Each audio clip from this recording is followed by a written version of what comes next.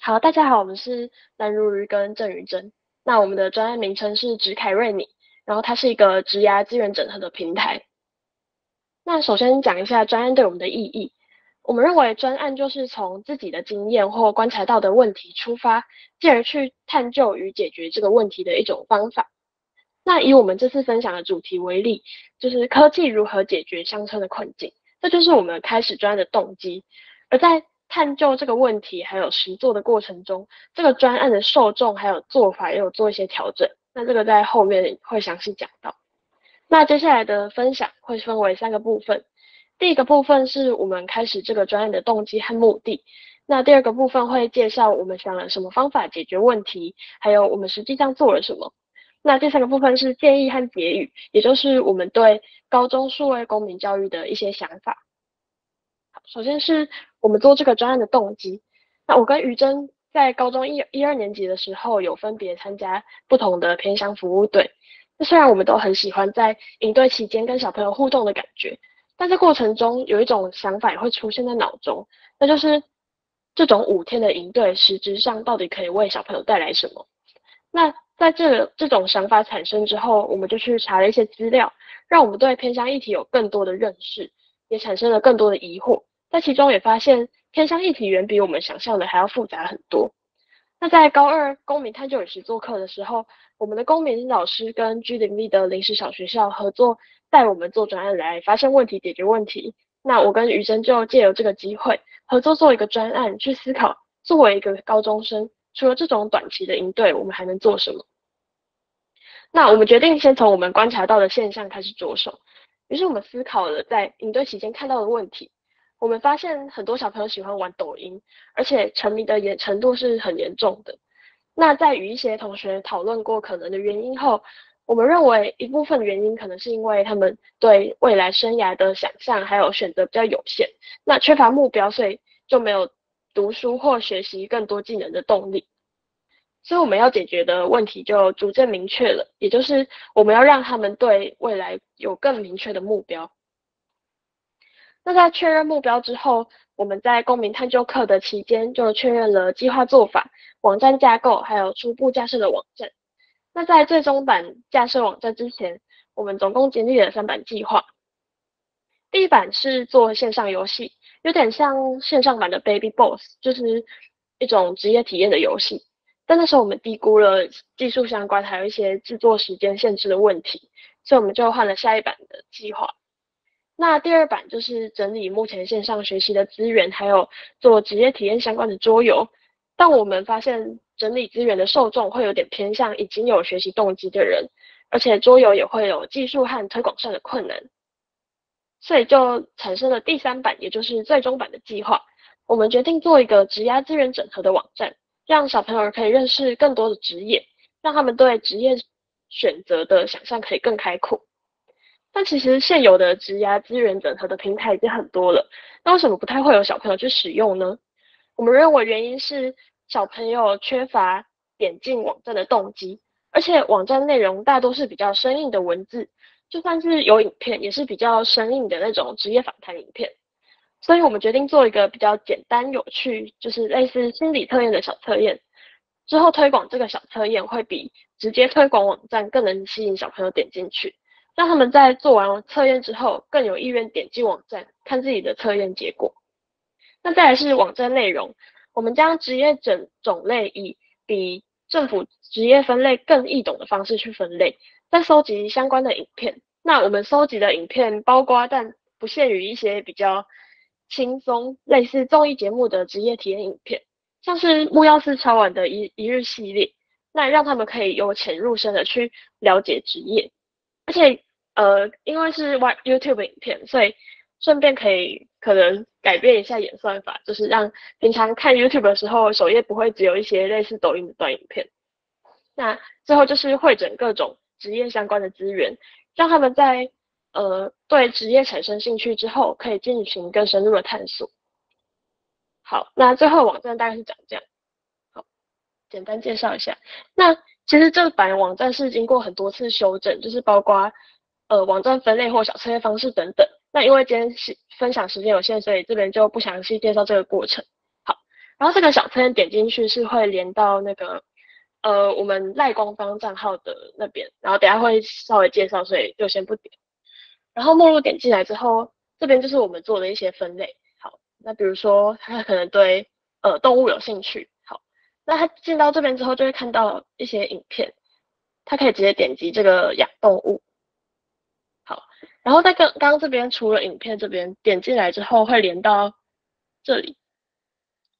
这里就是我们整理额外的一些资源。好，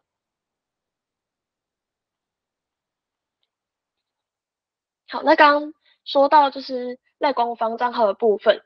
就是呃加入我们的赖之后会进行一连串的呃问题，然后到最后就会测出一个结果。就是说你可能属于什么什么型，然后这边下面呢，就是有有提供几个职业分类，然后他们点进去之后，就会直接连接到刚刚网站里面那个职业分类的分页。好，然后如果对这有兴趣的话，可以扫一下我们的赖官方账号，或是直接在 Google 上查我们的网站，然后直接点小测验那边。好，那回拉回到一开始说，我们在探究与实作的过程中，导致受众和目标的调整。也就是我们认知到学习动机不足的问题不仅仅存在于偏乡，所以最后我们将受众做了调整，也就是我们想利用科技去改变缺乏学习动机的国小甚至国中生的困境，而不仅限于偏乡的学生。好，那我们这里等等会顺着时序来说明我们参与 G 零 V，然后还有大大小小活动的方式，然后还有心得，然后再以我们的经验分享高中生如何参与 G 零 V，然后提供一些我们的想法给大家当做参考。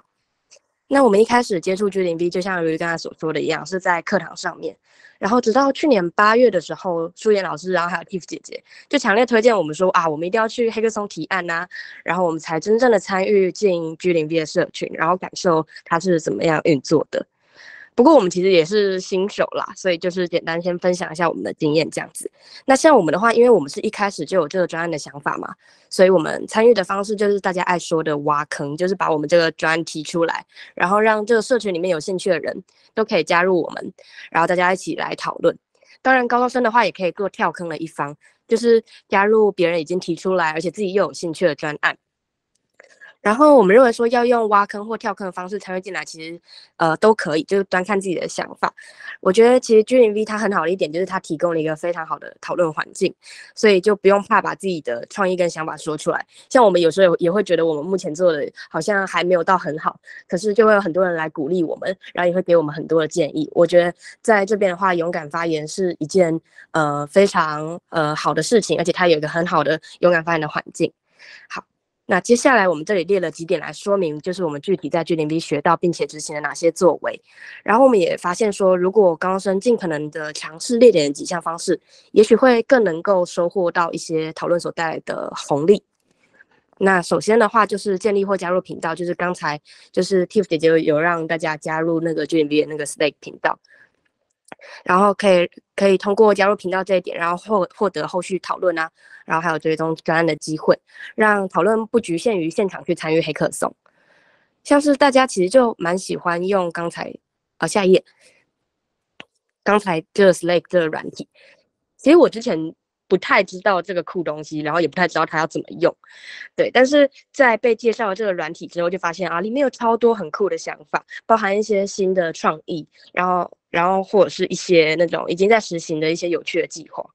然后我有时候就会躺在床上，就跟滑 IG 一样，然后就躺平在那边看，然后就意外发现。哦，这上面真的有很多很酷的东西，然后意外让就只是滑手机，然后也也变成一种就是扩展眼界还有创意的方式。对我觉得加入这个社群本身就是一直在吸收一些不一样的东西。好，然后再来是使用工具来整理资讯这一点，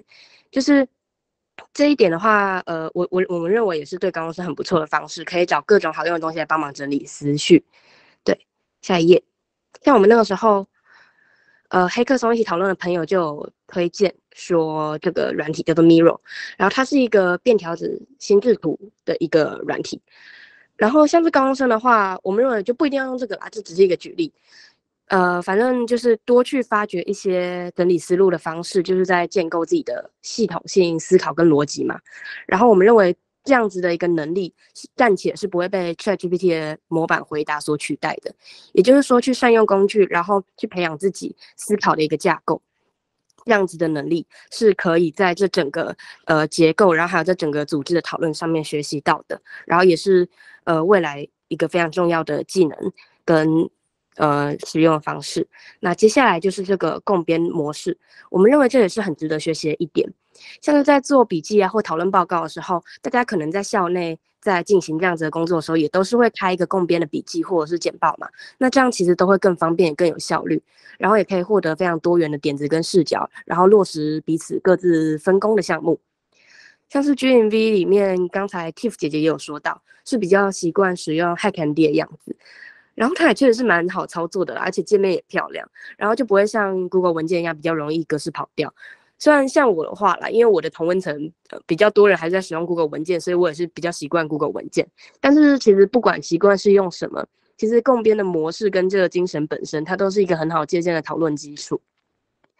然后最后是扩张推广范围的这一点，然后我们认为这个是嗯我们参与 G 零 V 的动机方式也是成果吧。像参与 G 零 V，我们一开始的动机就是为了要。扩展我们的推广嘛，可是它也慢慢就变成我们参与各个社群的形态，也就是方式。然后最后更因为这个推广范围的扩大，然后让我们更难割舍掉这个计划，所以它也算是一个成果的一部分。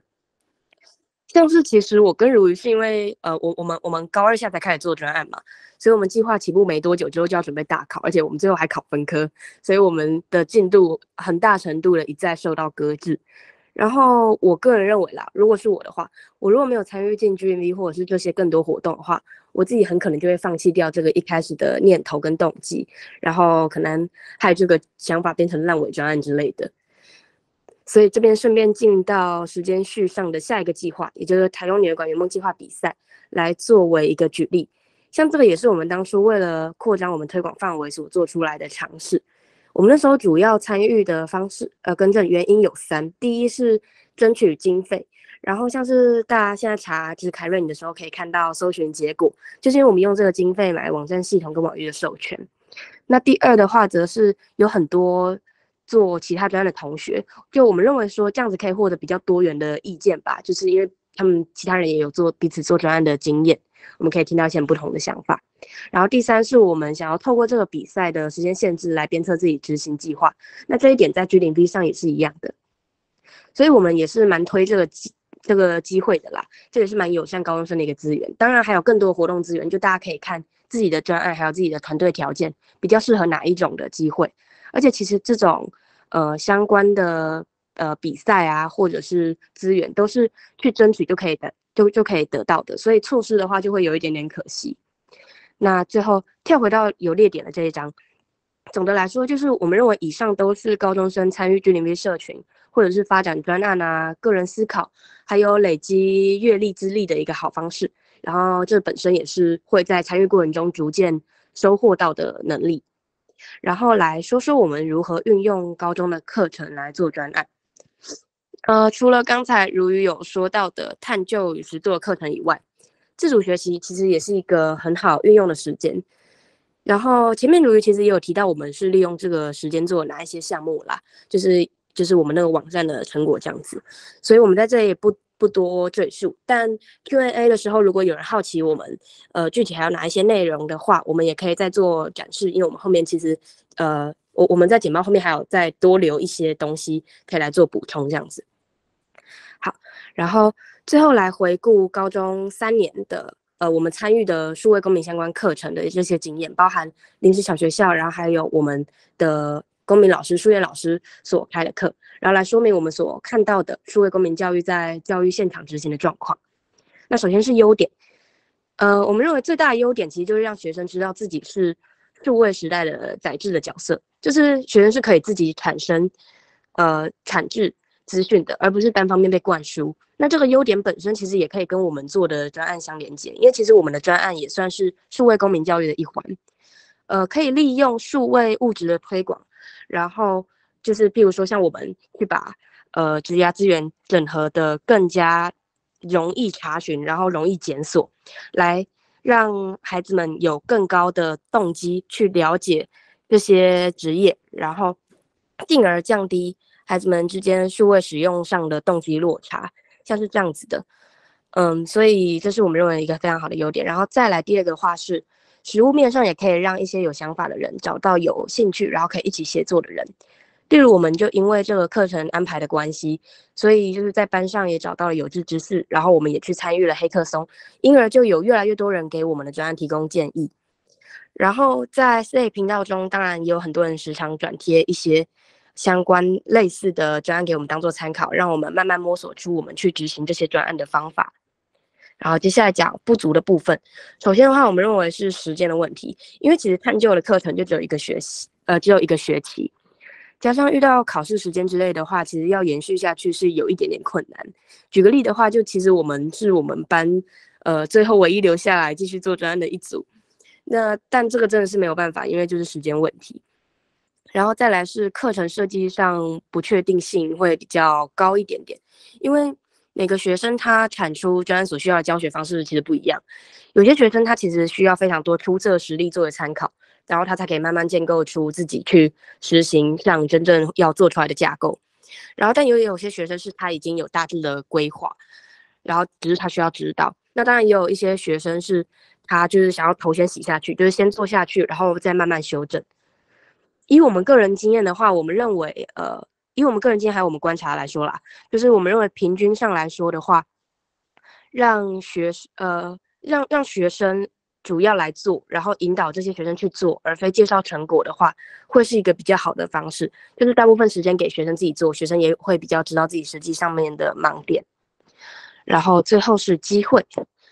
我们认为让诱因进入校园的话是第一步。所以也许可以办类似那种高中创意专案征稿相关的企划，就有点像现在不是很多文学奖都会在高中校园里面办吗？像那样子的，让高中生可以看见这个机会，然后可以再提供一些诱因，可以是物质上面的奖励，也可以是有利学习历程的证书，像刚刚大家参与呃这个赢队的时候可以获得的一些证书，类似这样子，来让大家愿意参与，然后愿意做。另外。像现在其实高中生就我们观察啦，其实还蛮投入在社团活动的哦，因为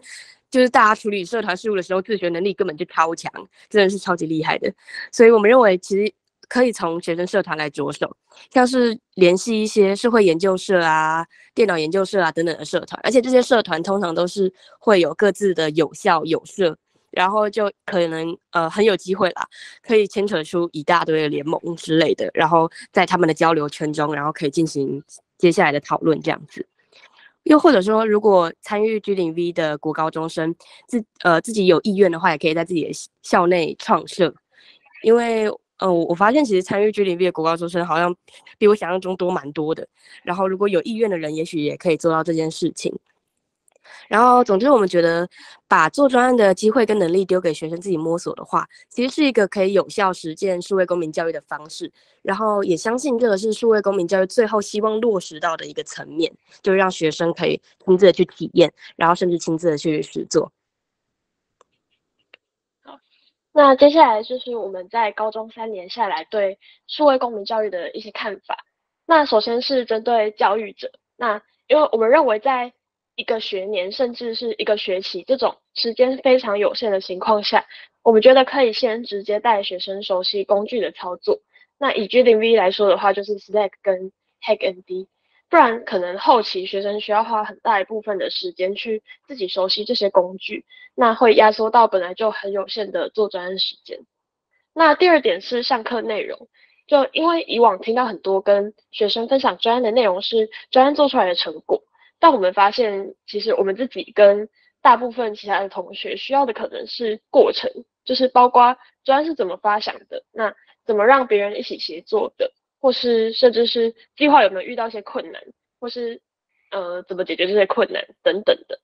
好，然后第三点是 Office Hour，就是我觉得 G D V 带我们做专案很棒的地方，也就是专案发想到一个程度的时候，安排一个时间让我们咨询 G D V 里面。比较有经验的前辈，那这也是让我们专案确定方向很大的关键之一。